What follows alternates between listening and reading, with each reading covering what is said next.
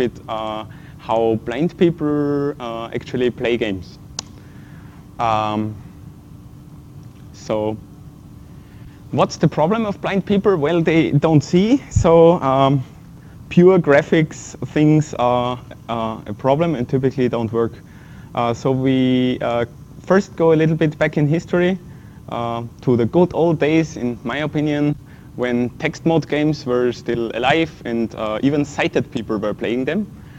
Uh, and later on, I'll be going uh, a little bit into audio games, which are games more or less uh, specially written for blind people, which can be a good thing, uh, but I think we could even do better. So, um, text mode games. Um, there is actually a lot of this stuff around, and uh, yeah, there is there are um, these turn-based role-playing games. Um, they are also called Rogue-like because Rogue was like the first game which uh, looked like this. Um, then there are text mode, uh, then there are text adventures or interactive fiction, um, which is basically more or less an interactive book, so you can interact with uh, the game by entering commands. Uh, then there are multi-user dungeons, which maybe someone of you know, which is more or less the same thing as interactive fiction, but online and in multi-user mode. And uh, then we can maybe even play some board or card games in text mode. Um, so, um, these, these uh, roguelike games are characterized by randomization to make gameplay a little more fun so that it's not even uh, always the same if you start it again. And they are turn-based, which is uh, quite important for blind people so that they can take the time they need uh, to to uh, actually look at what's on the screen. Um, many of the old versions actually used ASCII graphics, which uh, is actually uh, readable with a braille display for some people. So um, that's something that I really like because uh, I can use it. Uh, and this is an, as an example for this, maybe uh, someone of you maybe still knows NetHack. I remember this was really the first game that I played on Linux when I came to Linux and I was I really liked it. Um, so just to get an impression, I mean, so we generate a character.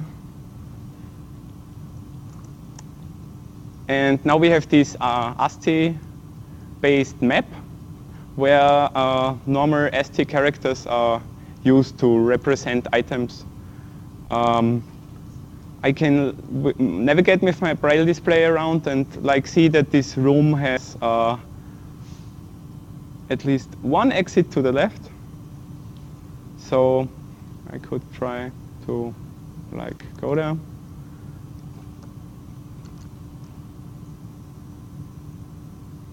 Uh, yeah. So there's actually some monster around which I need to fight right now. Uh, but I guess we don't have really the time to uh, play this a lot. But the point is it's actually playable. Uh, I can, for instance, see that here on the right side would be a gold that I guess I need to pick up. And yeah. Uh, so this actually works, even it is, uh, uh, it is two-dimensional and there's a map and everything. Uh, but I actually uh, like to play it. Um, it takes a little bit of time, of course, so uh, you have to take your time to really look around and yeah. But it works. And uh, what's very, uh, what's nice about this is, of course, it's a game actually not written for blind people. So uh, I can like play the same game as sighted people play, which is a nice thing. Then there's interactive fiction which is a genre where really a lot of games have been written. Um, these games are mostly based on uh, interpreters, so it's kind of like a bytecode, which is very nice because it's platform independent as well. Um, there are some uh, formats for this. Uh, the best known is probably Infocom or Z-code. Um, on Debian at least there are like four interpreters for this in text mode that I know of. So uh, there's really plenty to choose from. There's also a more modern stuff like the text adventure development system, which is uh, like free software, so you can also program your own text adventure games. And there were uh, actually a lot more systems that I'm not going to name because uh, I don't know them all and uh, there's no point. Um, many games uh, can still be downloaded from www.ifarchive.org, stands for Interactive Fiction Archive. Uh, which is really very, very uh, I mean, they, have thousand games. It's really, really a nice thing. And just to, to show something which I think is really neat is uh, Douglas Adams actually wrote uh, an interactive fiction game together with Infocom uh, for Hitchhiker's Guide to the Galaxy, which you can download from the net as well. It's like 130 Ks and just uh, launch with one of these Infocom interpreters and you are right in the middle of the game. So you wake up, the room is spinning very, very gently around your head. Or at least it would be if you could see. Yeah? So the point is, this, this is the start of the game, uh, and the, it's the same as the start of the book.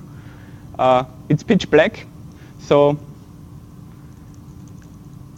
I'll just get out of bed first. Um, the point is, if you know the book, I mean, uh, Arthur Dent, which you are playing here, uh, is kind of drunk from the day before, so he doesn't really feel well. Um, and there's still no light, so let's turn on the light with a command. And suddenly we see the room with all the things around it. Uh, yeah, so just to show you a little bit how to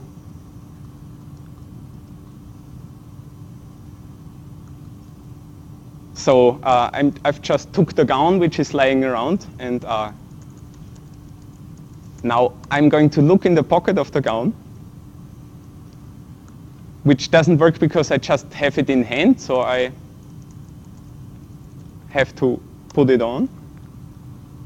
So now I'm wearing it and uh, now I can look in the pocket and ha! I am looking for a pill because I'm so dizzy.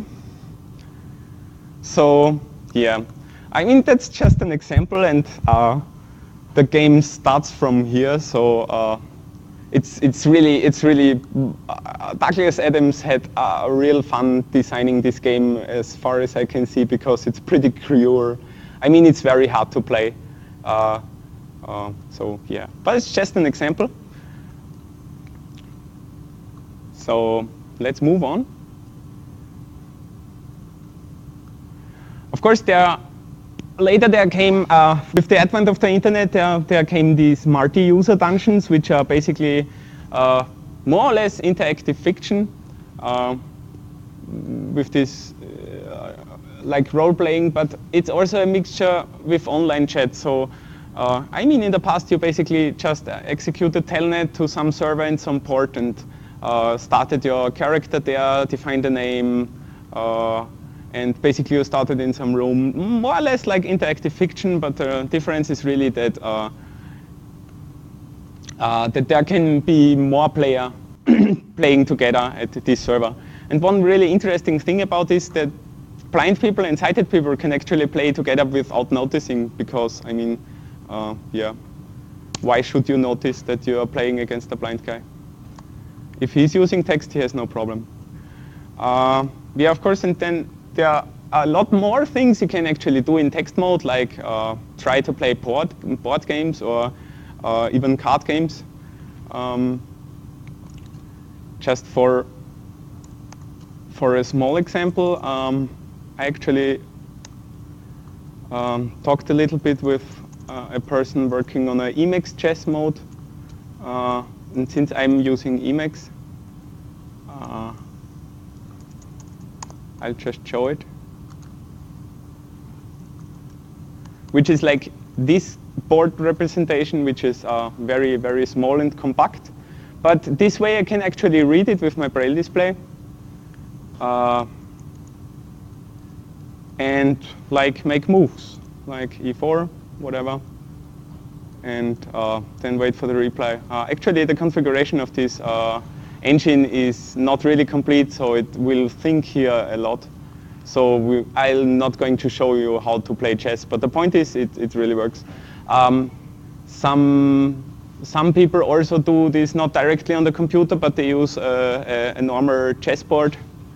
Uh, I mean, like a tactile chessboard, and they just execute the moves themselves, uh, which is also fine, but it takes a little more time.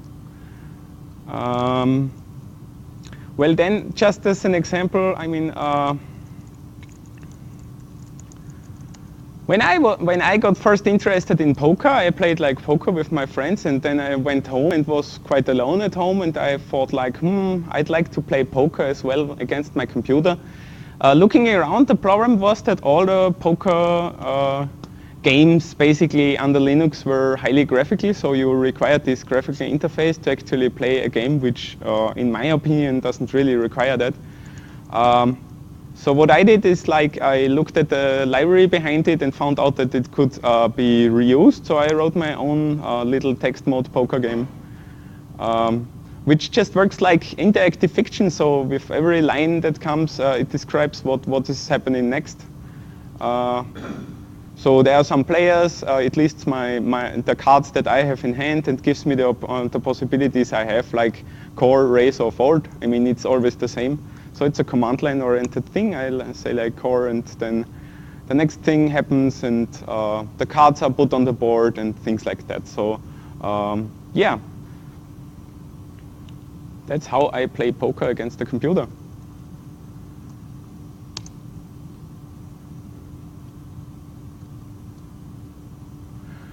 Well, um, even things like Tetris can be played uh, in, in text mode. Uh, all we need to do is, is cheat a little bit. I mean, it's, it's too fast usually, so what I do is like I use the pause key uh, to review the screen, to look uh, what, what, what block I have here, uh, how I should turn it, and where it possibly fits. And then I just uh, do the action, and uh, when the next block com comes, I hit the pause key again. Which is, um, for me, actually doable. I mean, as a Braille display user, it's you can do this if you're uh, experienced enough. There is even uh, audio, I like a speech version of Tetris, which was written by T.V. Raman, the author of Emacspeak. Uh, I'm not going to de demonstrate this because, uh, yeah, I, I'm not really a speech user and I'm not into this, but just as, as a pointer. Uh, people are actually doing things to to to make games playable for themselves because yeah, they are usually none. So um, now these were the text mode uh, based games and I guess the next uh, step is actually audio games. Um, there's a really comprehensive list of these on the internet. It's called audiogames.net. Uh, unfortunately, most of these uh, uh, are more or less non-free software. So I'm not really going to, I'm not trying to promote non-free software. All I'm trying to do is uh, to show you what's currently around and maybe inspire someone to actually write a clone of these uh, things in, in, as a free software version. Uh, many of them are written especially for blind people, which can be a good thing, but it's also kind of bad thing because uh, we are no longer possible to play together with other sighted people really nice would be if, if some mainstream games had actually some audio mode or something that you could like, if you start a game, you, I mean, why not choose a character? Why not, I'm a blind samurai, why not? I mean, could, could really make fun, sense. So all the game would need to do is, is present uh, the information in a kind of other way. Uh, so via sound or whatever. Um, so this, this is actually where we'd like to go, I guess. So um, just to demonstrate a few things so that you get a little bit of an uh, of, uh, impression of what's currently around, uh, there is a really